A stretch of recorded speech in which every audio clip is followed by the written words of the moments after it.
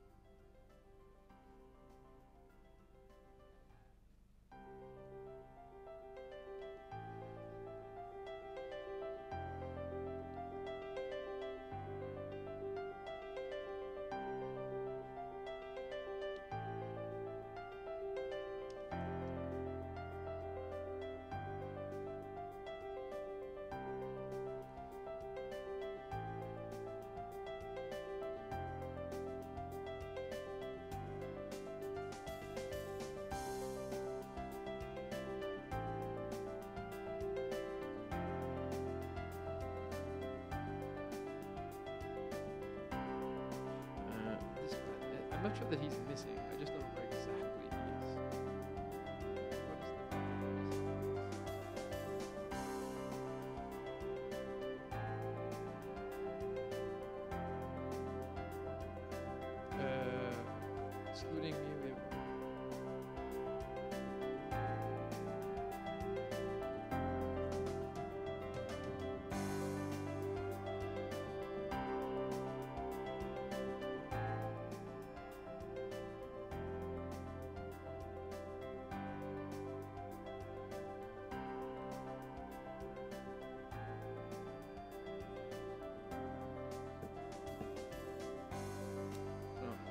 I'm not on. Do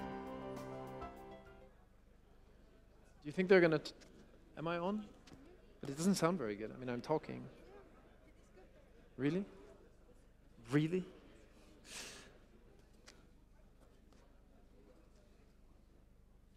Yeah.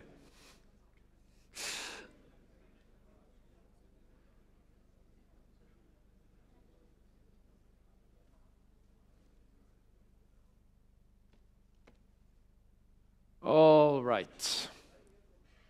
Good morning again, ladies and gentlemen, distinguished guests. Let's get the show on the road. So, as I mentioned uh, 30 minutes ago or so, my name is Paul, uh, and uh, I have been asked to moderate this morning's session on district cooling, a solution for a feverish planet. Um, I have two small children at home, and they are just starting to reach the age where they're asking what daddy does when he's away and when he's not at home and he's supposed to be out working. And uh, they're four and six, so there are limits on how much detail I can provide them with. But lately, we've been starting to talk to them about the environment and the importance of protecting our common home here on earth and I have started to use this concept of a feverish planet to describe what I consider to be a, a very serious emergency for, for the planet and by extension for our species. And when I explained to my six year old that our planet Earth has a fever, of course, his natural inclination is to suggest that we give the Earth some medicine. And in a sense, that's more or less what we're here to talk about this morning. How, by what means, and in what form can we medicate the earth? Can we make the earth better? And how, in the process, can we achieve the other things that we need to achieve as a civilization development, growth, security? So, if the earth needs medicine, uh, those of you here in the room today, and in particular uh, the distinguished group that we'll have on the panel this morning are going to have to be the doctors. So, what I would like to do is um, bring our panelists up onto the stage now. Uh, and uh, I invite you all to, to come and have a seat. And uh, we can get started with what I hope is going to be a, a very fruitful exchange of ideas. One thing uh, I've already done one speech this morning. I'm not going to do another one up here now. So I expect support from the audience. That is to say, I want questions. You see, I don't have a chair. I'm already working hard by standing up. I'm going to be walking around. I'd like someone else to do the talking. I'm already getting tired of my own voice. So please do ask questions, challenge the speakers. It's the only way we're going to have a, a meaningful and useful debate. So if I could ask all of the panelists to join me up here on stage now. And uh, I will introduce everyone once they're, once they're up.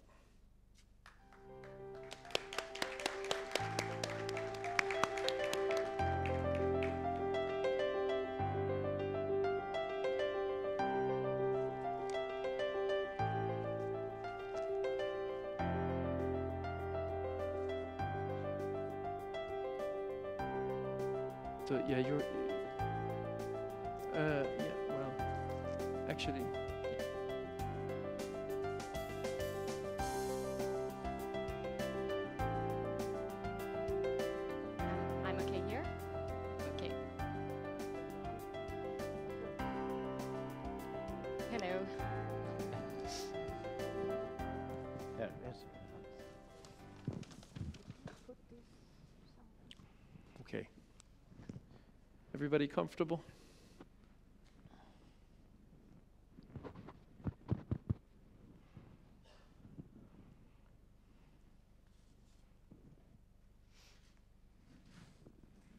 Uh, I think mics will come. Uh, there's one down there. Yeah. And we'll have microphones for our. Everyone is mic'd up? There is one. Thank you. Okay, so it's my honor to introduce this distinguished group, uh, moving from, well, my left to right. Uh, first, Her Excellency, let me get the name correct, Eva Polano, Ambassador of Sweden. Thank you very much for being here. Um, Ambassador Polano has been working and leading a glittering career in diplomacy for, for nearly 30 years now. Uh, looking after the interests of Sweden, but also, I think, fighting for a more fair and prosperous world. Thank you very much for joining us. Per Dahlin. Uh, per is an old friend. It's difficult to introduce your friends. Mm. President of Devcco, uh, a man who's probably forgotten more about district cooling than, than, than I'll ever know. Someone I look to for advice and, and support, uh, and someone who sits on the board of my organization. Per, thanks for being here. Siria Martinez from the UN Environment Programme. Uh, importantly, a person who is very much engaged now in the political work that needs to be done in driving the district energy agenda forward, but also someone with a very robust technical background who understands the detail of how these things function. And I think the combination of the two is extremely, extremely valuable. Isram El Sarag, Director, Research and Development at the Gulf Organization for Research and Development, uh, a person with 25 years of experience in consultancy, engineering, energy, buildings, and the intersection uh, between these things, and a great deal of, of expertise, which I, I, know will make an important contribution to the panel this morning. John Dulac from the International Energy Agency. Um, John is a, another person who has a very deep technical understanding of the issues we're facing, a background in engineering and urban planning, and at the same time, a detailed knowledge of the policy framework that needs to be put in place to allow these things to develop as we would like them to. And finally, Vinod. I don't like to make mistakes with people's names. Kesavaner? Uh, I spoke to Vinod last night and asked how he would like to be introduced because I don't like to just read out people's boring CVs in a boring way. And he said, just tell them I work for Matteffect. Uh, I think there's a bit more to it than that. Uh, this is a person with a, a, great deal of experience in the field of engineering and energy, uh, and someone I'm very pleased to have with us this morning. Now, what I'd like to do uh, to get us started is ask each of our panelists to uh, make a short statement. But before we're going to do that, we had one panelist who was unfortunately unable to make it here this morning. Um, so, if we could, uh, I'd like to have him briefly with us by video. If we could play the video, please. Good day, ladies and gentlemen, honorable guests. Uh, first of all, profound apologies of uh, not being there uh, in person due to other pressing uh, um, um, interactions. Uh, but today we will be uh, talking about the resource efficiency under the Montreal Protocol, and especially the potential offered by district energy systems, including district cooling and district heating briefly, uh, the Montreal Protocol, uh, with which I've been working since 1987, is considered to be one of the world's foremost multilateral environmental agreement with 197 countries have ratified it four times. Uh, and in this respect, uh, the latest agreement which we arrived at was in Kigali last year, uh, in 2016, around this time of the year, we were, where we were able to uh, agree on a ratification to address uh, the phase down of HFCs, one of uh, a group of very powerful greenhouse gases. And among the uh, agreements was also uh, the effect to address energy efficiency. And that is where uh, we would like to share with you our visions and what we are expecting just the phase down of HFC by about 85% to 2050, we are uh, awaiting uh, reduction and uh, an avoidance of half a degree of uh, uh, uh, climate change. And if we are able to capture energy efficiency in an appropriate manner, we would also be able to address up to another half a degree. So a potential which we may be able to address up to one degree under the Montreal Protocol, where the central district energy systems like district cooling and heating can play a significant role. In Sweden, for example, we have about 25% penetration of the market, and we expect the same amount of penetration globally. Having said that, we are also be, will be addressing how to deal with energy efficiency although under the Montreal Protocol we have not done so earlier uh, under the phase down of uh, ozone depleting substances. But that's the mandate that has been provided to by the, uh, by the parties to the Montreal Protocol. And we hope to be able to uh, devise the criteria under the executive committee on how to maintain and or enhance energy efficiency while also recognizing the key role played by other institutions like the GCF, uh, the Global Climate Fund, the uh, Global Environmental Facility, and to see how do we seek harmonization. So, in conclusion, uh, I wish you all success in the uh, current uh, meeting, and uh, we do think now that we have legislation in place, we also have an opportunity of cost-effective ozone climate synergy and to avoid a degree of climate change. So we look forward to our continued interaction with the global community in order to achieve this low-lying fruit. Thank you very much. Wonderful. Uh, now, in order to get us started, Your Excellency Ambassador Polano, a short statement from you, please. Thank you very much, uh, Mr. Paul Foss, Managing Director. Uh, Mr. President Issa Al-Kuwari, President of Kahramaa.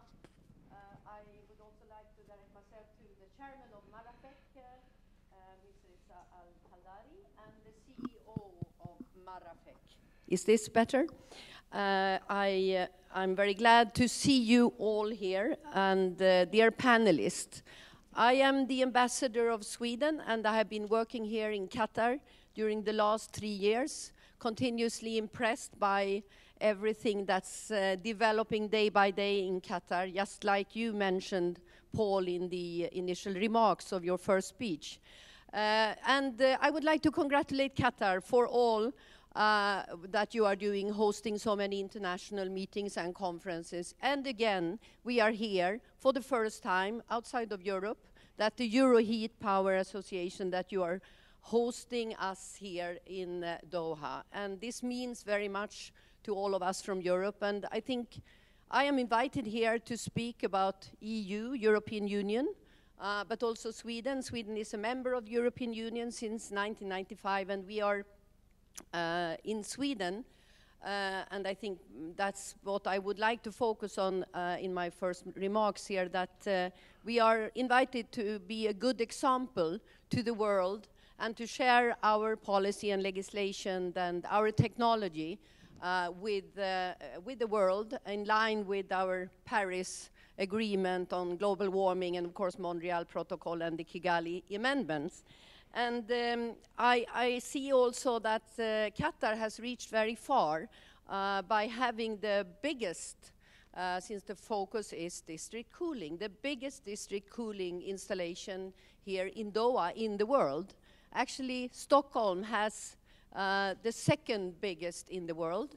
But now I learn also by focusing more and more on this very relevant topic for uh, global warming and climate change, that Qatar will have the first, uh, the biggest uh, capital cooling installation here around 2020 or 2021 uh, in Lusail, and uh, that is, of course, highly important. So, in a way, I would like to focus on that Qatar and Sweden are very progressive countries and can be uh, seen as having very close partnership already, but we can continue on these lines.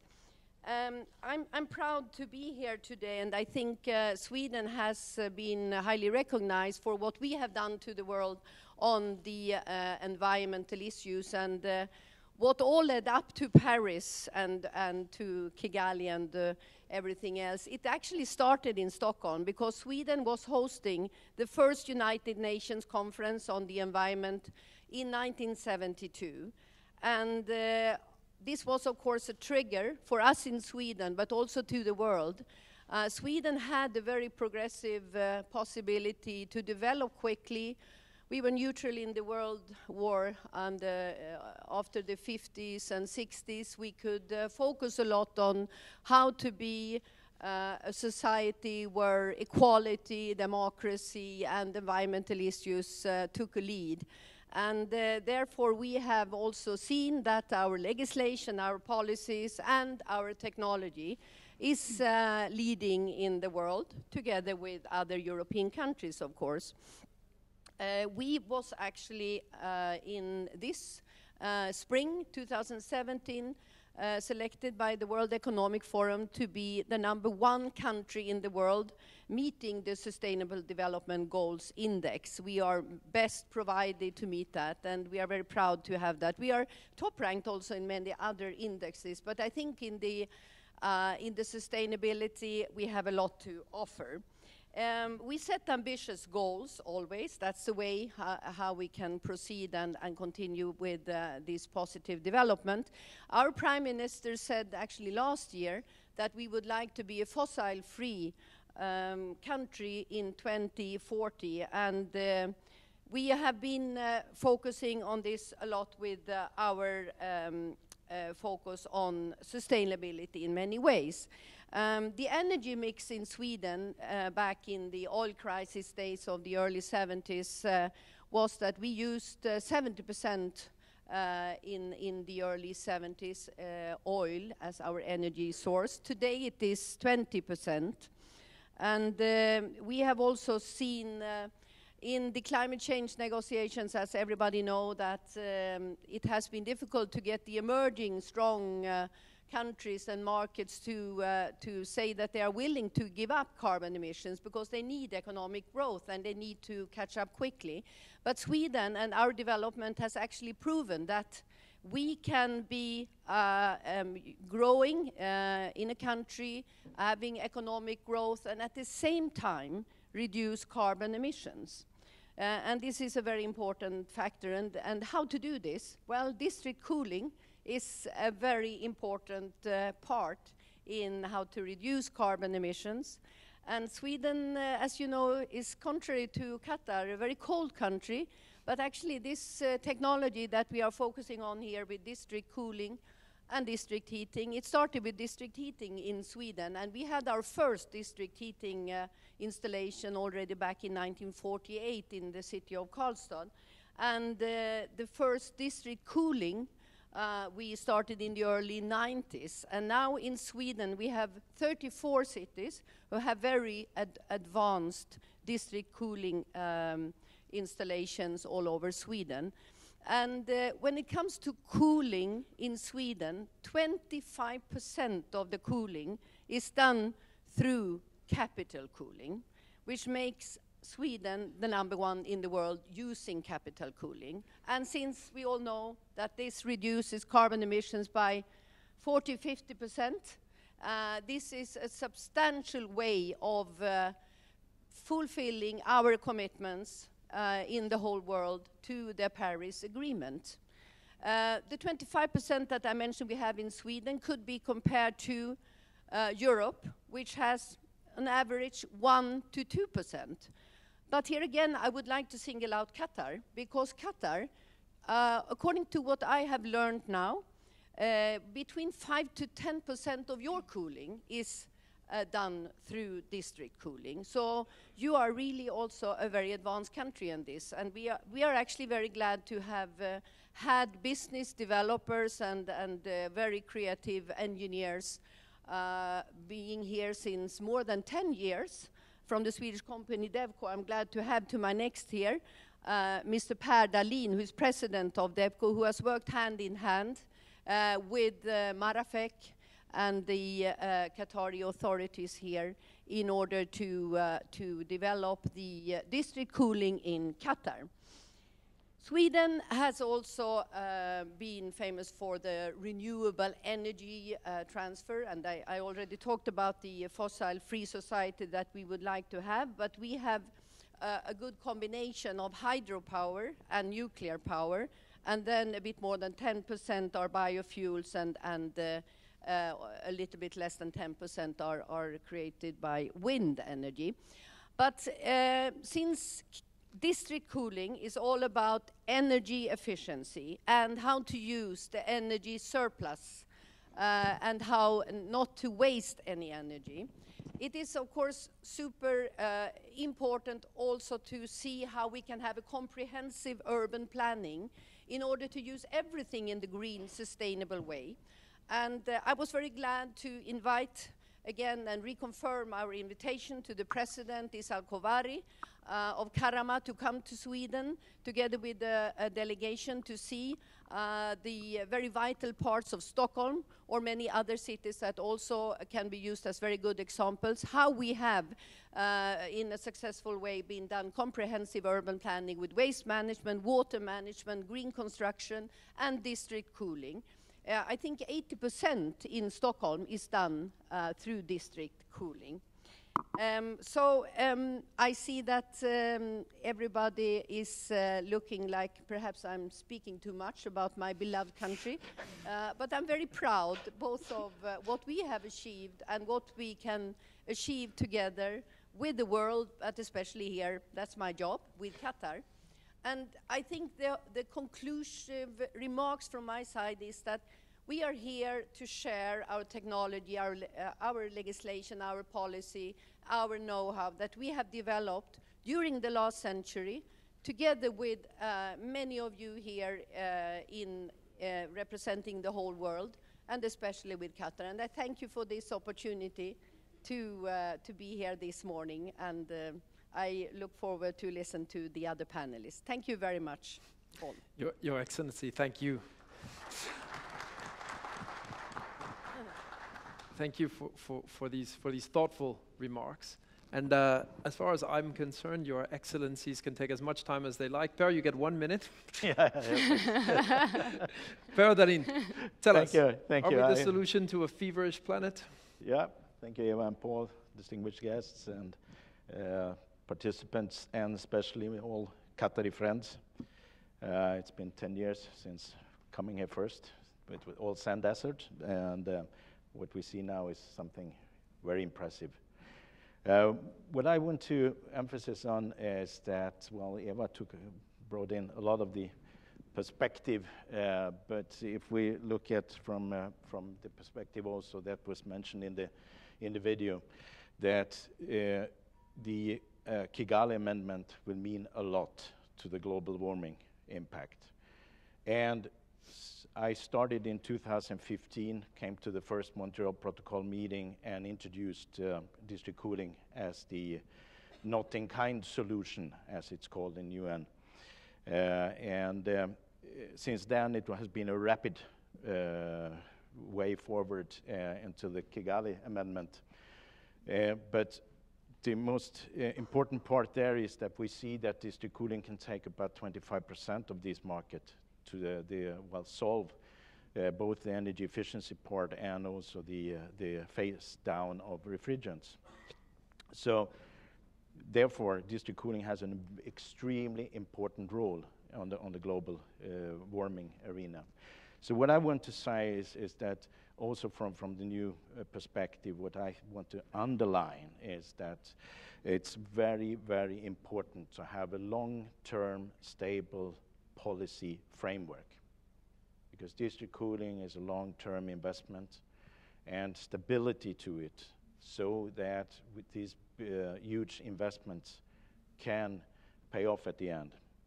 So that is, is also from my side uh, uh, uh, very glad to see that also we have had we got the first uh, uh, member also into Euroheat and Power, Marafeq, to take part in, in well have an insight in how we work with the policy issues in in uh, uh, in Europe. Uh, uh, you're the first one, probably will be more, but that is a big step forward, and uh, hope that we can support and exchange in the future so that we can help you in, in, in the policy work as well. Thanks a lot, Per.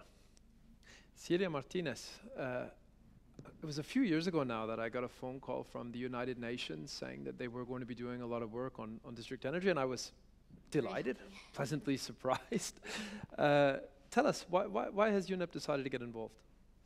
Uh, well, first of all, I would like to thank you all for inviting uh, United Nations Environment to be here, and thank you especially uh, to the Qatar authorities for the very uh, warm welcome that we've had here. Um, as uh, you've mentioned the, uh, the Paris Agreement, we've heard the Montreal Protocol.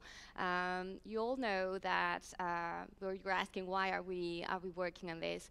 Uh, you know that the um, energy demand, the energy consumption of buildings, global energy consumption of buildings, is uh, dedicated mostly uh, to address the, the demand on space heating, on cooling, and on hot water.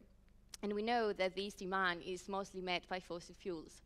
So if we want to meet all these goals established by the uh, Paris Agreement, we know that we would have to cut around 75% uh, the emissions that we are currently uh, emitting by 2050. We want to meet that. On the other hand, we have um, many countries that are evolving. People are demanding for more comfort. So we know that the demand for cooling, for uh, space heating, uh, for hot water is going to increase. Uh, we know that there are some figures from the International Energy Agency showing that uh, in 2050, uh, cooling demand for cooling could grow in Asia or certain regions in Latin America about 600%, which is huge. What does it mean? Uh, for us, that means that any climate transition, any energy transition, uh, necessarily needs to address urban heating and cooling. This is a must. This needs to be done. And uh, United Nations Environment uh, has realized this is a fact. And uh, for this reason, we are working on this. We launched uh, the District Energy in Cities initiative two years ago and this initiative is part of the Sustainable Energy for All platform, uh, and it's one of the implementing mechanisms of the Energy Efficiency Accelerator of the Sustainable Energy for All platform. We uh, started the initiative with uh, support, funding support from uh, Denmark. Uh, we now have uh, funding support from the Global Environmental Facility, and we also have support, funding support from the Ministry, Italian Ministry of Environment. Uh, what do we do is um, help emerging economies and developing countries because United Nations works mostly in developing countries to uh, create, develop a framework that enables uh, the development of district energy. So we try to open doors uh, for all that work in the private sector uh, to help increase the uptake of district energy, district cooling and district heating in, uh, in regions where it doesn't exist uh, yet. We are working in Latin America, in Asia, uh, in, uh, in Northern Africa, in Eastern Europe um, to help that for us, just to just to finish, it's very important to be here. Um, we think that uh, political leaders and every one of us is not just political leaders uh, that have the power to do something need to show to the rest of the countries that some this something can be done. Uh, so we um, really appreciate the efforts of, of Qatar in uh, supporting district cooling and uh, and yeah, one of the methodologies actually from the District Energy Initiative is get the best from around the world, and try to transfer this knowledge uh, to what we call the learning countries or learning learning cities. Um, we then hope that with the help of everyone, uh, we can we can contribute to stop from our side uh, climate change. Thank you. Thanks, Cecilia, and thanks for being here. Esam, you have a vast experience right across the spectrum of, of heating, cooling, ventilation, energy efficiency, buildings. Uh, in your 25 years of research work, um, what have you come to learn and think about district heating and cooling and how they fit into solving the problems that we're discussing? Okay, thank you very much. Uh, um, just I want to start to, to talk about our beloved country, Qatar. So, uh, yes, I have to take this opportunity to talk about what happened actually in Qatar in the last decade. It's very, this is a very important step to build some concepts and benchmarking on what we are going to do in the future as well in this session to get really benefit of this panel discussion. I'm going to just put this type of benchmarks so people they can understand and um, structure um, uh, the, the, discussions in the next uh, panels as well. So what we happened, 2007, we work on the development. Actually, I'm coming from Gulf Organization for Research and Development. We are under the umbrella of Qatari Diar. And as you know, Qatari Diar is an, one of the biggest investment arms, not only in Qatar, but in real estate all over the world. So this is why also we can say we are nephews or sisters to Marafeq in a way or another. So uh, we developed the sustainable systems, uh, the, uh, Qatar Sustainability Assessment Systems 2007, 2009, and launched and actually deployed initially by Lusail City. I was in uh, Europe, and uh, just to give you something, Paul, I was uh, presenting in Europe what we have done in sustainability. This is, by the way, and they are talking in Europe about five uh, sustainable cities, Copenhagen, they're talking about also uh, Stockholm. I thought, what about Lusail? And because we have another city, we city number six in sustainability, but nobody actually in Europe knows about it. But actually, we expanded this message. I'm going to talk about it right now. So we they, they initially uh, actually adopted these sustainability standards. Uh, the sustainability standards talk about sustainability from the macro level, from the urban planning, which is very important for district cooling. We're not talking about district cooling as a technology. Without urban, proper urban planning, this technology will not work. And this is why we work from the macro level, from urban planning to site work, to energy, water, building, materials, uh, environmental uh, quality, and management and operation. So we have a full scheme developed for Qatar. And before, people, they think always here in the Arab world, what we do, we import sustainability. But actually, we exported sustainability to the world. And now GSAS approved officially by the FIFA for the 2022 venues. Why? To in lay of all other events. Deployed by mega developers, Lusail, Manateq, this is what we call them, this is why the GSAS districts and infrastructure become the first in the, we can talk about in terms of sustainability, compared to the international systems, the biggest in terms of master planning. And this is very important. Also, we have developed new schemes which completely unique even to the world. They don't have, for example, railways. I traveled whole Europe to talk about railway sustainability. And actually, we implemented railways, GSAS for railways, which is unique. GSAS sports, the investment happened actually from Qatar Olympic Committee, which is also take another step for the FIFA tournament. You see, this is also big plan. In energy level, this is which is very important, we don't want, in the whole sustainability, it's very important to understand. We have different local authorities. We have ministries. We have Kahramaa. We have GORD.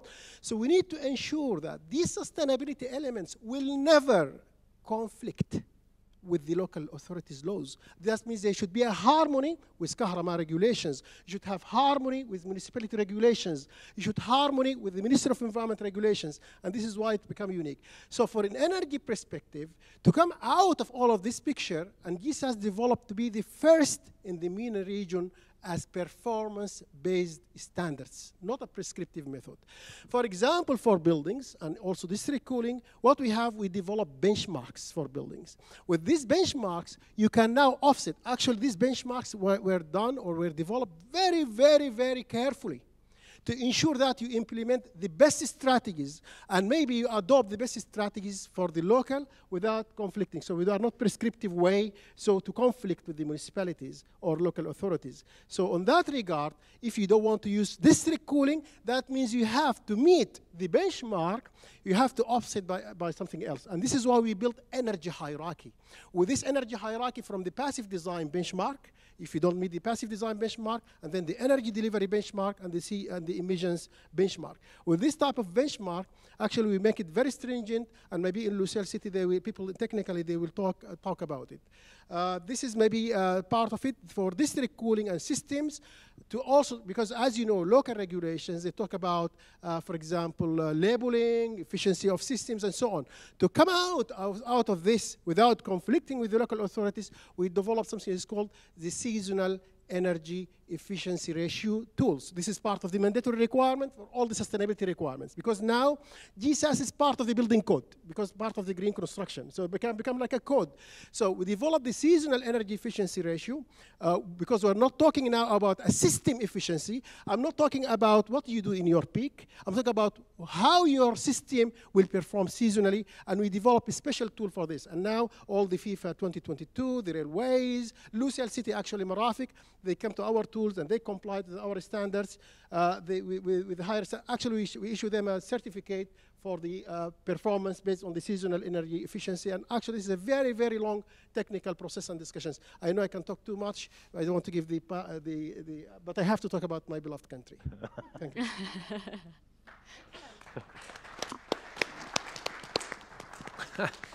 thank, thank you. Thank you, Esam. I, I knew we'd get expertise. I wasn't expecting such passion. That's a bonus. Thanks uh, very much. And, and I think an important lesson there, you know, we often Uh, as, as Europeans, we might come to a place like this, and of course, our idea is to share what we have learned and share what we do back home. But it, it's important to underline that we're also learning all the time, and all of us are hugely impressed by the, the scale and the quality of what's being done here. Good. Uh, John Dulac. Uh, John from the International Energy Agency, who, as I say, has all sorts of expertise around energy and urban planning. Um, John, how does the IEA see all of this? Uh, okay, good. I just wanted to check I was on. Um, you know, I've been thinking, Paul, uh, this question about what is the, a feverish planet and the solutions around it, and I, um, it comes down to really three things that relate to the discussions I think we'll have over the next two days. The first, uh, of course, that has been mentioned several times is that uh, we have a commitment to move towards two degrees or below over the next 40 years. Um, and that this is really, um, we're talking about feverish planet is becoming a major challenge. I was in China 10 days ago, um, and the Chinese government was presenting what they see happening in terms of temperature changes across China um, in a two degree world, which is what we consider sustainable. Um, and already at a two degrees temperature rise, the number of cooling degree days in some Chinese cities will more than double. Um, and that's just to give you a sense of what is happening. We see in countries that historically we never would have considered as being hot, um, for example, Sweden, that are actually growing cooling demand quite significantly. Um, and this is the kind of feverish planet we're talking about, uh, which poses a lot of challenges, of course, moving forward. The second, in terms of feverish planet, and coming back to UN Environment's point about what's happening in terms of demand, um, cooling is growing extremely rapidly. Uh, heating perhaps still remains, uh, for much of the northern hemisphere, a major challenge, but um, in rapidly emerging economies, we're seeing cooling growth rates in terms of energy demand as much as 10 to 15% per year. Um, we sold an air conditioner, uh, four air conditioners, in fact, every second last year. So cooling growth is happening at an extremely rapid pace, and this is not going to stop. Um, we look out to 2060 in our energy technology perspectives at the IEA, and just to give you a sense of how feverish this is, over the next 40 years, we will build 10,000 square meters every single minute. That is the size of Paris every five days. Okay? So growth in terms of the built environment is happening at an incredibly feverish pace. And we have to find solutions for this that are efficient, affordable, that address comfort, as Paul mentioned earlier, um, and that certainly meet our long-term ambitions for a sustainable world. Um, I think the last point on feverish, and how does this tie back into district energy, um, we took 100 years to essentially very slowly develop technologies. And if we want to meet our goals by 2050 and beyond, that means we essentially have to double the pace of innovation. We have to double the pace of how quickly we deploy efficient and sustainable solutions.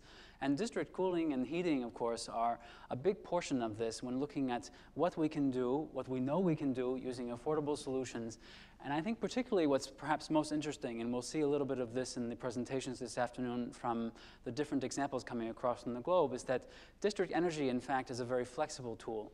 It's one of the reasons that we like district energy as a clean and sustainable solution. It can take into account high efficiencies using things like very efficient cooling equipment, for example. It can take into account variable renewables and use those within the district energy network to have a more flexible energy system. And I think most importantly, coming back to your point, Paul, is that it can also at the same time address comfort. It is unrealistic for us to think that the world is going to continue to live in an environment where people are not comfortable. If already China is talking about doubling cooling degree days in some cities, if we're seeing air conditioners, four air conditioners sold every single second, this is a clear message that in fact people want more comfort. And we have to find efficient solutions, sustainable solutions to address that demand. Thanks, John. I'm just wondering if we should be opening up an air conditioning business. um, that's uh, those are a lot of numbers to think about. Wow. Okay. Uh, Vinod. So Vinod's a mechanical engineer, uh, which means I imagine he gets his hands dirty uh, on a regular basis, making all this stuff work in practice. Be keen to know what you think. Yeah. Uh, good morning, uh, Her Excellency Ambassador of Sweden, uh, distinguished guests, and my friends. Yes, I am working in uh, deep into the district cooling and uh, industry for last 10 years. Uh, most of you know that uh, the cooling demand of a building is about, uh, which consumes about 70 percent of the total building energy in this part of the world. And uh, uh, the share of district cooling, as uh, the ambassador was mentioning, has been one of the highest in the region. Actually, Qatar ranks number two in the region in terms of district cooling, we call penetration. In 2008, the district cooling share was 1.7 percentage, now which is we are close to 10 percentage, 8 to 10 percentage. So which is a, which is a substantial uh, jump. And I attribute this to the uh, real estate development uh, happening along for the FIFA uh, 2022 event and the Qatar National Vision 2030, which emphasizes or envisions uh, there is a sustainable development for the uh, citizens and the residents. So there is a lot of emphasis on energy efficient cooling in this part of the world and especially in Qatar. And Qatar is uh, penetration of district cooling is quite good. Now going into, uh, as my uh, task has been made easy by the previous five speakers, but I just want to go and uh, a little more detail why district cooling is more efficient. Because it's very easy to say we are 45 to 50 percentage more efficient. And with thermal storage, we are even 60 percentage more efficient. So what in Marafeq, what we do is that we do uh, from concept design stage to the specification preparation, we go into uh, very details of uh, what kind of equipments to be used, what kind of efficiency we need, and uh, we, in, we ensure that the project is managed properly so that the, when the EPC contractor finishes a project, he hands over us a plant which is uh, operating as the efficiency plant. And, uh, and we have been we are quite, quite successful in that actually. Currently, uh, has uh, City has two operating plants. Uh, the one is about to finish, 48,000 ton capacity, and we are also operating in Barwa two plants of 38,000 ton total. So when Lusail City is finished uh, uh, by 2030, the district cooling system would have saved uh, half a million tons of CO2 per year, which is a huge figure. Uh, the total installed capacity in Lusail plant is 360,000 tons. Barwa currently, the two district cooling plants are saving 34,000 tons of uh, carbon dioxide per year. So this is a significant saving, especially if you consider uh, Qatar is one of the highest uh, per capita CO2 emission countries, along with the region. Though the share of uh, overall carbon dioxide emission is only 0.25, we have a big uh, way to go in terms of uh, reducing this per capita uh, CO2 emissions. So district cooling in a big way is going to help us, coupled with thermal energy storage, reduce the power consumption and, and CO2 by around uh, 60, 62 percentage. So uh, we are actively working. We are uh, looking at the Qatar National Vision 2030. And with the uh, 2022 FIFA tournament, where the stadiums are having uh, about eight plants, I, my personal belief is that the penetration will reach around 20 percentage by 2030, which is currently standing at around 8 percentage. Okay. Thank you, everybody. Um, so what I'd like to do now is, uh, is have some question and answer, and, and as I said earlier, really hopefully some interaction with the audience. But uh, if it's okay, I do have a, a first question uh, for Ambassador Polano. Um, we're talking about a feverish planet and talking about possible solutions, uh, and in the end, the only way to get there is through a kind of global consensus. Otherwise, we get ourselves stuck in a prisoner dilemma where it makes sense for some people to just not do the work uh, and, and benefit from it in the short term. So it's a big challenge. Um, we saw an agreement in Paris uh, recently, which was a kind of diplomatic success. It was a diplomatic success. But obviously, it's only a first step. It's only an acknowledgement that something should be done. Um, today, with things as they are, how optimistic are you about our prospects for addressing this problem adequately as a global community? Well, it's a difficult question with uh, President Trump's uh, position on on the, uh, the climate change agreement, and uh, here in in the Gulf region, we are also very much aware of the challenges that the uh, White House is causing to uh, to Qatar. Uh, we we are not focusing on this here. That that's a more political issue, but it's all politics, and well. We have, due to uh, the withdrawal of, of uh, President Trump's and, and uh, the earlier commitment from the US administration, had to be standing even more firm together in the international community. And Sweden has increased our financing uh, of uh, the, um, the sustainability and all what is needed to be done. Actually, the economy of Sweden is going so well, uh, and since we are very committed to development cooperation, and our goal has always been to uh, provide 1% of our GNP to development cooperation. This means that our development cooperation uh, budget has increased by 8 billion Swedish crowns, which is uh, a bit more than 1 billion US dollar. Uh, so development cooperation towards climate change issues is one way of uh, of uh, providing a solution. But of course, we need all of us to stand uh, firm together in our commitments. And I think by speeding up using uh, district cooling, it's a very, very substantial way of, of reducing carbon emission and stop the global warming. Thank you. Thank you. Okay, one more from me. Uh, Vinod, you work with this stuff every day in the field. Talk to us about the practical challenges uh, of working on district cooling in, in this environment here, the climate and so on. Uh, there are there are few challenges. Though the technology is excellent. Um, in fact, I, before that, I would like to say that Qatar has one of the uh, first regulators in this region. Uh, Kahramaa DC department acts as a regulator and supporter for district cooling, uh, which uh, and where their first standards also came up in last year as a draft. So, uh, in spite of all that, there are challenges in district cooling um, industry.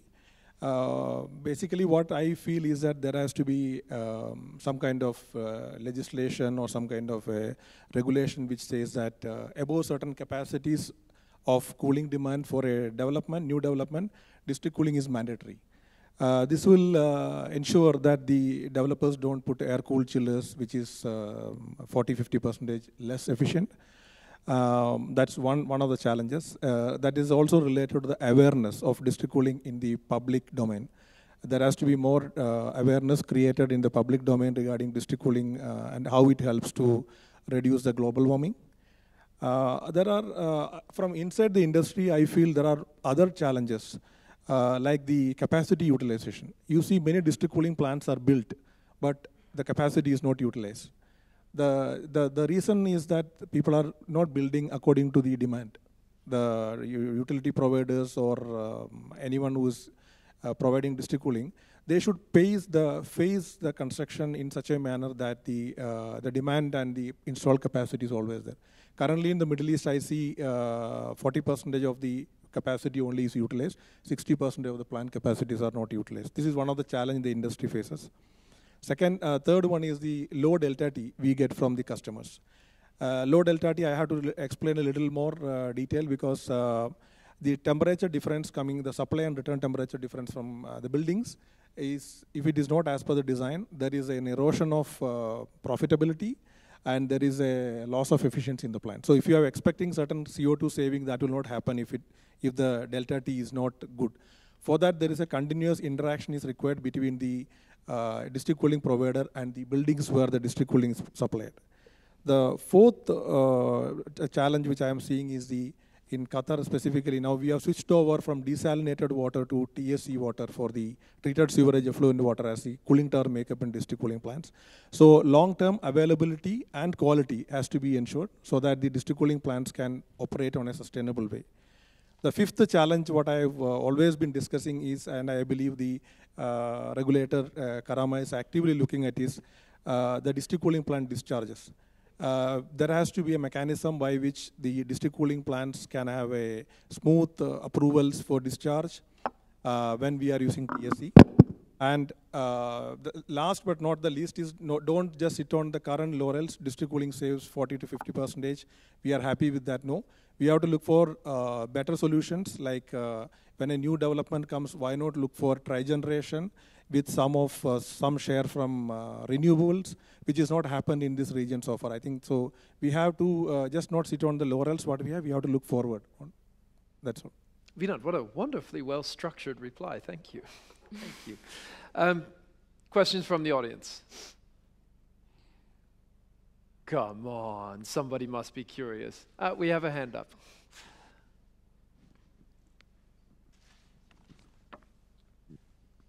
Celia had um, mentioned uh, framework support from political leaders, and knowledge transfer as um, being elements of encouraging district energy. And I'd like to hear what the panelists have to say, what their opinions might be on mechanisms by which we can actually transfer that knowledge. District cooling is not rocket science. Granted, if you try hard enough, you can mess it up. But there's a lot of people that have a lot of knowledge, and we really need to have it shared with everybody else. How do you think you might do that? Who's up for it? Yeah, we can go for it, no problem. All questions we can transfer, okay, if you like. So um, uh, I need just to start with two elements. Before we, uh, to answer his question, I don't like to do like intermittent answers. If you allow me, just to explain a little bit about the, this region. You need to take frankly about the region, what is happening. Always, if you need to do a successful business, you have to come back to the business as usual part. So this is, will be your benchmark, your reference values. So let's now, currently, I'm talking about now, let's talk about the whole Gulf region. Currently, the GCC countries, they have over 50 billion US dollar installed cooling capacities. And the running cost, fuel, the fuel cost, I'm talking about the uh, annual fuel cost 20 to run this more than 20 billion US dollar annual. I'm talking about the GCC level. I'm talking about marketing reports. This is like the past decades. Let's talk about the future. Now, this is just to see if we continue. I agree with you. If we can continue doing the business as usual up to 2030, what is going to happen?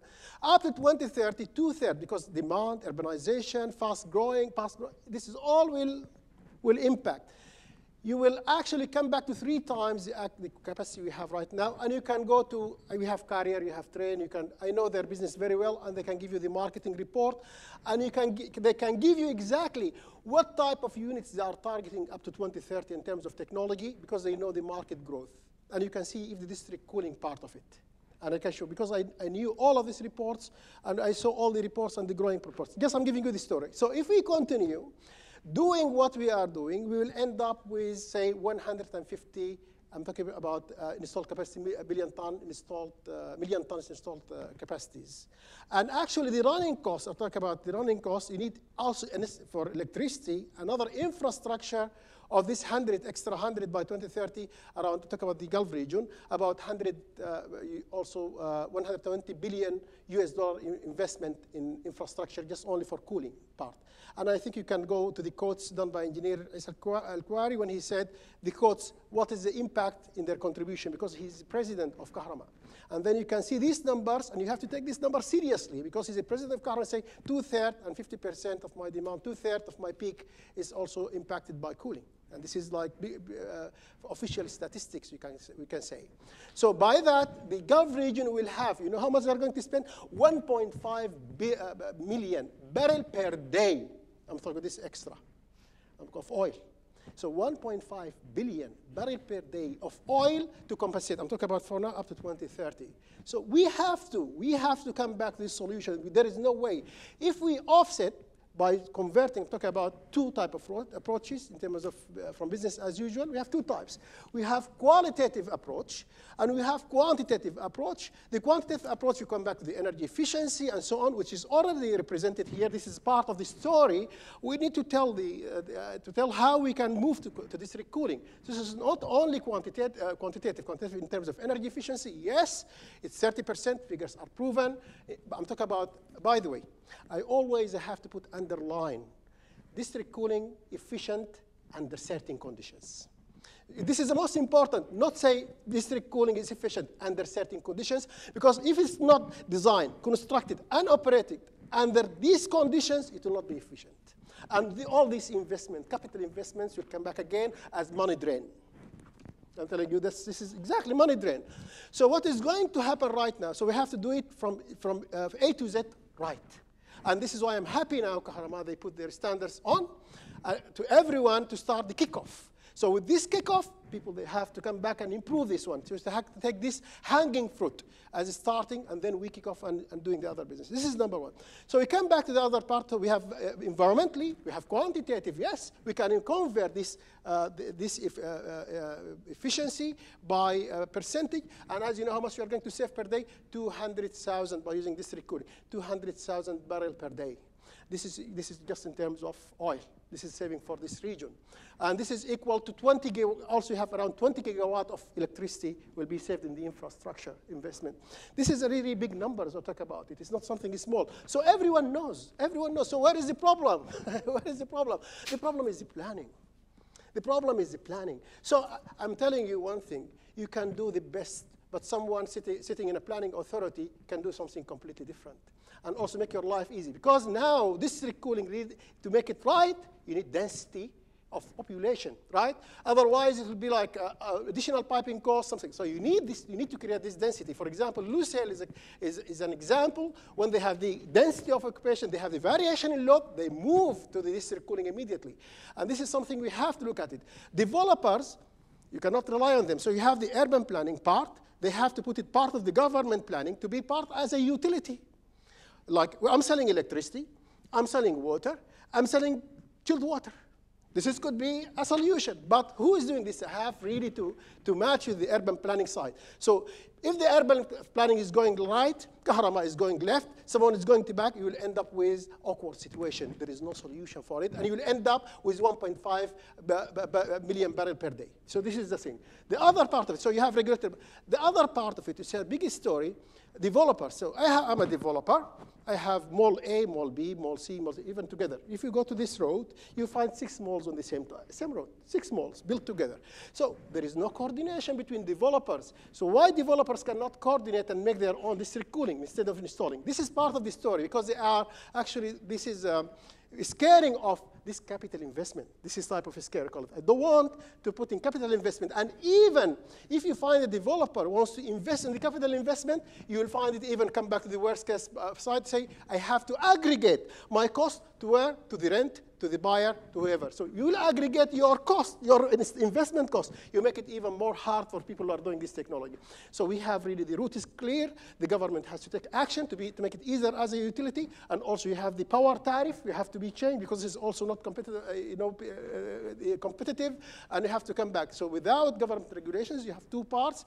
It has to be read like set tariff, tariff for who? for service provider for district cooling, you cannot sell with any price to the end user, to the, serv- to the, the- to the developer. So you have this three should be controlled. And from this one, you can build a really uh, successful story, but you should have very good urban planning side. Sorry, uh, it's long. Any question you can convert. Remind me never get into an argument with Esam.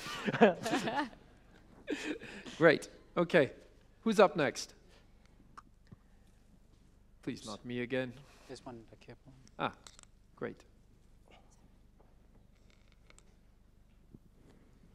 I'm Nisar from Rafik. We are talking about energy efficiency in district cooling. I believe also we need to talk and if we have uh, more elaboration from the representative of UN, UN Environment and International Agency, Energy Agency. Uh, the major role to increase the temperature of our planet is the way of energy generation or the techniques what we are using in energy generation. Uh, right now, the energy generation by coal is approximately 40% by coal and uh, 27% by gas. For the coal, the major role is by China and America. What the UN laws and uh, International Energy Agency, they are doing to convert the coal energy and other energy uh, techniques to the re- renewable energy because renewable currently is only 13% and we are talking about from last maybe 10 years that we are converting to renewable energy but still the share of the renewable is very less so what's the plan or how the UN environment is working with America and China the major producer by coal thank you Sorry, I don't know if I understood well the question. So it's uh, to know what United Nations is doing uh, to uh, increase the uh, the percentage of renewable energy. Um, is that the question? So in, in uh, I, I don't know, I, I, guess that was the question. So um, they are in sustainable energy for all four key sectors. One of them is uh, energy efficiency, and in the energy efficiency um, uh, acts, we have the District Energy and Cities Initiative, among others. There is another act of the sustainable energy for all, uh, which is on renewable energy. I don't know exactly what are the programs that are under that. Uh, what we are doing, we have many programs working in uh, working in China, in uh, U.S. Uh, so United Nations works uh, mainly uh, supporting uh, developing countries and emerging economies. So um, actually, we do not have a program in United States to help develop renewable energy, as we don't have it in Europe because we understand that they have uh, the um, I know the potential enough and the understanding and the knowledge to develop it by themselves. But we do have that in uh, uh, in China, and uh, just because I'm working in the District Energy Cities Initiative, um, just to mention that one of the reasons why we're working on this is because we, we see district energy as an enabler uh, enabling technology to increase also uh, the, um, the percentage of use of renewable energy. Uh, we are working, for example, in um, in Chile right now on district heating, and we are uh, doing some kind of campaign awareness raising to try to combine uh, solar heating uh, and uh, biomass to feed their district heating networks, for example. So from our side, from our program, we try always to combine that. One of the reasons, because you're, you're mentioning China, uh, actually China uh, has quite a good number of district heating and cooling networks already. So why are we working in China? They asked for our support actually to make their um, networks more renewable. They uh, have their networks running with coal, and they want to change that, and they want to make their networks more renewable. So we are um, starting, because we are starting our program there, uh, helping to make these uh, networks more renewable. Or, for example, we're working in Serbia, Eastern Europe, in Belgrade, Belgrade has, I don't know if the biggest, but one of the biggest district heating networks in Europe. Um, it was not very efficient, so one of the reasons why they approached us was to help them make their network more efficient. And also, one of their objectives is to uh, include solar heating as one of the main sources of energy for the district heating network. So um, from our perspe perspective and from our program, we are helping in a way uh, certain, uh, certain markets to integrate solar energy, biomass, renewables into uh, the district heating network. So it's not just uh, opening the market, market for district energy, but also trying to make it more renewable, more efficient, greener. It's one of the, one of the things we're working on. Thank, Thank you.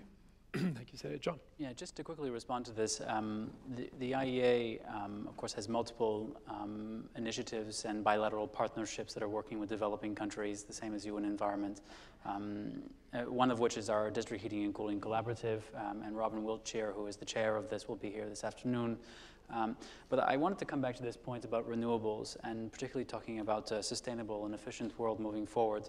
Um, in this equation, very often we think about putting renewables into the system because it makes it cleaner, it makes it more sustainable. Um, but we like to say at the IEA that we should see energy efficiency first. Um, and this is why we call energy efficiency the first fuel. Just to give you an example, coming back to the question of cooling, the average global efficiency of standalone cooling equipment, so room air conditioners, last year was a COP of 2. Okay, so 200% efficiency. We know that best available equipment in most markets is a COP of at least 4, so twice what people are actually buying. When we're talking about district cooling networks, we know that we have annual operations above COPs of 4, and we have seen in best practices COPs as high as 20 in some of the most efficient cooling networks. So if we're thinking about this, we have huge opportunity to offset the need for renewables if we pursue efficiency first. And just to give you an example of the magnitude of the efficiency's potential, If by 2020 we were to put in place mandatory efficiency standards of LED lighting, a COP of 4 or greater for cooling equipment, and the equivalent of Energy Star or A plus um, appliances for residential buildings, we would save between 2020 and 2030 more than 1,700 terawatt hours of electricity. That is the equivalent of half of the world's current nuclear capacity. Okay? So when thinking about what are we pursuing for the future, renewables is a critical piece in cleaning up the energy mix. But energy efficiency has to play a critical role in moving forward to make sure that those renewables can be used effectively. Thanks, John. Um, I have a question which might require some local expertise and including Per maybe. I, am wondering about something. Uh, I would imagine that electricity prices in Qatar are at the moment quite low. And we have a, a, challenge in Europe when it comes to district heating. Basically, if, if, you look at the simple cost, it's cheaper to burn oil or gas for your heat than it is to get involved with developing district heating network. If you forget all the external costs, like the environmental impact and the cost of your security of supply problems, the cheap thing to do is to burn some gas. And I consider the gas boiler to be nothing more than a giant market failure. And I could imagine that here you have a problem if you have very cheap electricity, it limits the incentive to develop what is probably ultimately at macro level a better solution in the form of, of, of district cooling networks. Is that a challenge here? And if so, what can be done about it? Yeah, uh, Paul, I uh, think you're absolutely right that um, we see it in, in, different parts that if uh, electricity is too much subsidized, it, it is a hurdle for, for, for the development of district uh, cooling. Uh, and um, so, so that is what, what I mean also with the long-term stable policy framework, that they create a level playing field uh, between the standalone solutions and, district uh, uh, cooling. So I think there is also government work to be done so that there is transparency here in real costs. But we also see that even with high, high level of, of um, uh, subsidies. Uh, I can take another country another part, like Trinidad, which is similar to Qatar here with big oil resources we are able to create uh, profitable district cooling even if there is heavy subsidies. Uh, they have a price of electricity that is maybe a tenth of other countries in the Caribbean.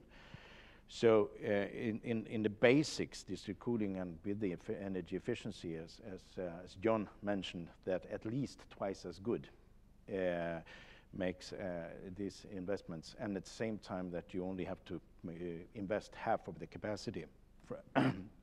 compared to, to the standalones means that the other half you can uh, invest in, in, in, the grid. So you, you earn money on district cooling on energy efficiency. But of course, if the electricity price is too low, there is a hurdle. And I think that is, is that to give the right price is, is extremely important.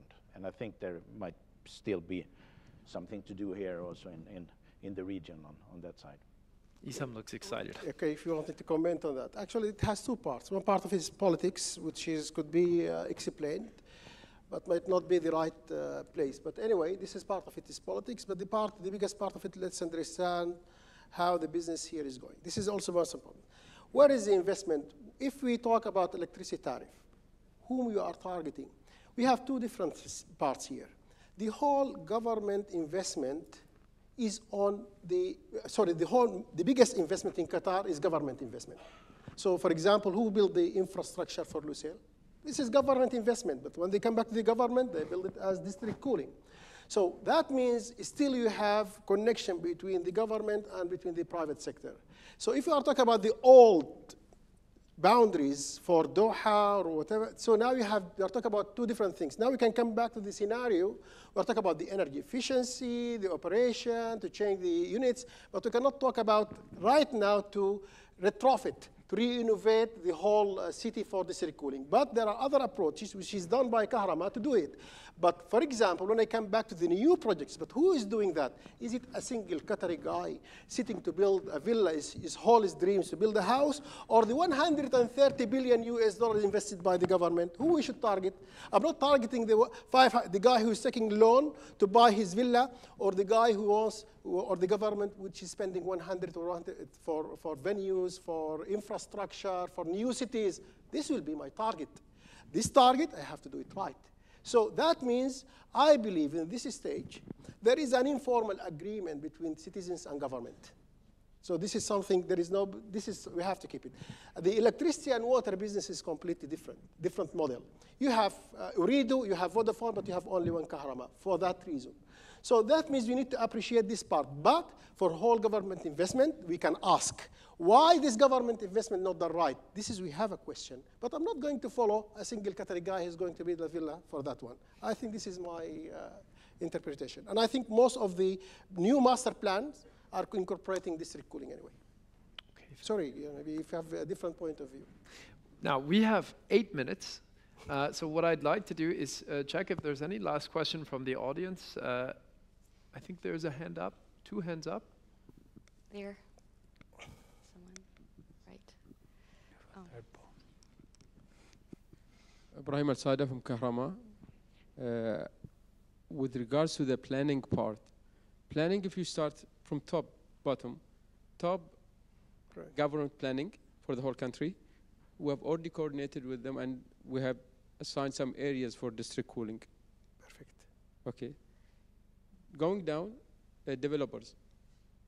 Developers and uh, designers need to do their homework right Yeah. for district cooling.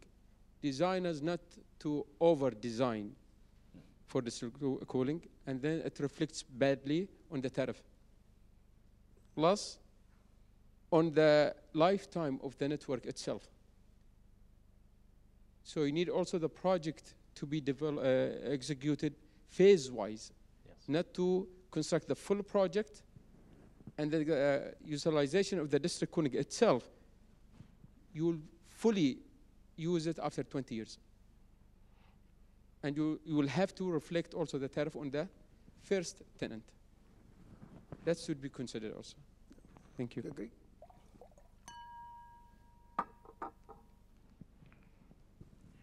Other questions out there?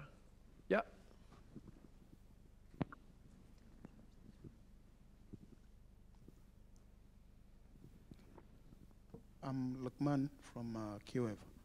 My questions uh, borders on the financial aspect. We're quite aware that uh, district cooling uh, setup is uh, really finance intensive. And uh, if UN agrees that uh, yeah, the district cooling also contribute an immense part into energy efficiency and reducing carbon print, what plans or incentive the UN has for these industries to be able to grow in developing countries? Mhm. Um, so we actually, with the District Energy Cities Initiative, what we are trying to do um, is help the countries develop, develop this framework to try to alleviate kind of the risks that the private sector uh, needs to take, and we are aware of that uh, when they want to build this kind of infrastructure. So when we are starting a market from scratch, and I can, uh, it's very hard. Um, and I can mention, for example, the, the what we are working now in Chile. So um, there is a lot of um misunderstanding and awareness raising that we need to do first. And um, well, what we try to do, for example, one of the things is try to um, first understand what are the lessons learned that we can get from the uh, best uh, practices around the world. For, for example, try to work with the local government and also at the national level um, on what kind of business model uh, would be um, uh, most, uh, I know, would be better, uh, would have more advantages for that, uh, for that particular market.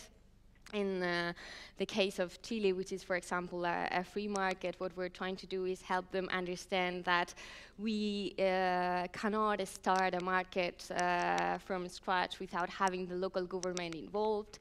We try to convince them that starting a project with, mm, for example, big public buildings would be a good thing to do, that we need a certain amount of density, that we need a, a load, and uh, also we need to make the uh, local governments understand that there is a quite a high risk that the private sector needs to take, and you need to reassure them uh, that they need to get uh, their uh, return back. So we kind of make them understand that you need, for example, a long concession. Um, a contract of 20, 30 years that they cannot just sign the contract and in two or three years because no investor would go there and invest.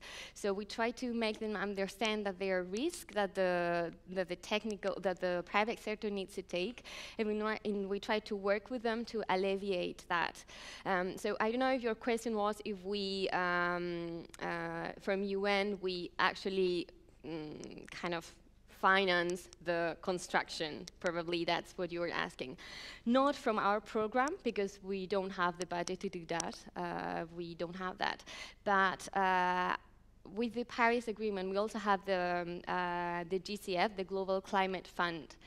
And uh, so with the GCF, we would have more funding um, to maybe kickstart or start kickstarting uh, certain projects. But we don't fund now construction. We just work on the framework. And the reason is because we don't have uh, enough budget uh, now for that.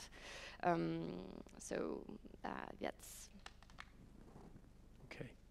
Thank you. Now we are down to two minutes, and I am determined to finish this session on time, even if I really could go on because of the, the quality of the people we have up here. But in these two minutes, um, is there anything that any of you would really like to, to get off your chest before we wind down? Yeah. Uh, we talked about uh, uh, district cooling making more uh, profitable and uh, more viable. There are uh, models on dual tariff, power tariff in many parts of the world or varying tariff. So if a district cooling plant has a thermal energy storage, if you have a nighttime lower tariff, we could operate at a much economical rate and discharge the cooling in the daytime. So this is one of the thoughts, uh, but uh, has been uh, discussed at various level, but not much progress has been made on this. Thank you. Ambassador. Yeah, very quickly about education, the role of uh, massive education on climate change and uh, the spirit of innovation in the spirit of engineering. Uh, we would uh, uh, see, we would like to see more cooperation between countries on exchange of university education, masters in, in district cooling. Uh, the spirit of engineering from Sweden has been very uh, much behind our success story with innovations uh, during the last century. And I think all this to teach our school children up to the highest university education is key uh, to, to be successful with uh, global warming and, and be successful together. Th perhaps UN could do a little bit more also to support all this.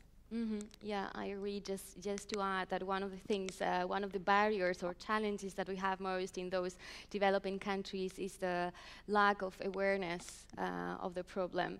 So one of the of the key aspects uh, on which we work is awareness raising, and that's one of the thing and key things for the success. I agree with that. Okay. It's good uh, to work together on this part because in the last uh, five, six, or seven years, we trained more than 4,500 which is also good uh, effort, I think, done locally and also internationally. They travel to Qatar to get the training and they get also the membership here. And I think also the training started the Ministry of Public Works in Qatar here, where we, uh, as you know, uh, they are applying sustainability in their buildings. And now also we uh, send to, uh, to, uh, to the schools, uh, also to teach students and so on. So this type of programs, it's really is going to be helpful, and international collaboration also will help everyone were working on the same target anyway. So, but also building capacity is something, capacity building is a big issue here. Thank you. Esam, you said something important just now. It's good to work together. We have serious problems. Uh, we need serious people and serious solutions. We've had six very serious people up here this morning. Um, please join me in giving them a round of applause.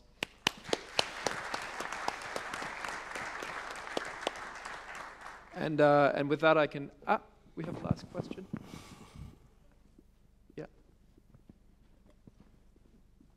Uh, we have two questions. Okay. Yes, uh, this is Salah Nizar. I think uh, we have today an opportunity to leverage the know-how because maybe in Qatar we have the choice to pick between the standalone system and the district cooling. But in number of cities in Europe now, they have to go for district cooling. A few years back, I was in Budapest uh, to give an advice. A number of building, like landmark building, they could not have an outdoor cooling because the city is forbidden to put any outdoor units on the balconies and they have no roof. So uh, people are starving to have a kind of cooling. They have to go for portable. And the only and the unique, the only solution for them is to go for district cooling for 100 years building. Uh, that's a challenge.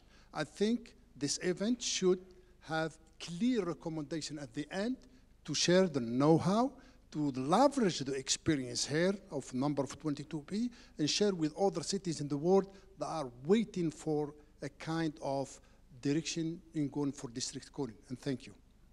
May I? May I also say that I would like to give a compliment to President Issa Al-Kuwari for uh, when it comes to education for the Kahramaa Awareness Center. It's highly educative and uh, the way you have developed uh, uh, the possibilities for the Qatari visitors, school children up to university degrees to learn about uh, climate change and uh, also your very impressive Tarsheed program, how to be more energy efficient in water and electricity. Uh, I would like to congratulate you to, to what you are doing and we are very glad to be partners with you continuously. Thank you. So, if there are no more urgent questions, uh, I think we can consider the session closed. Thank you all very much for being here, and uh, see you again shortly.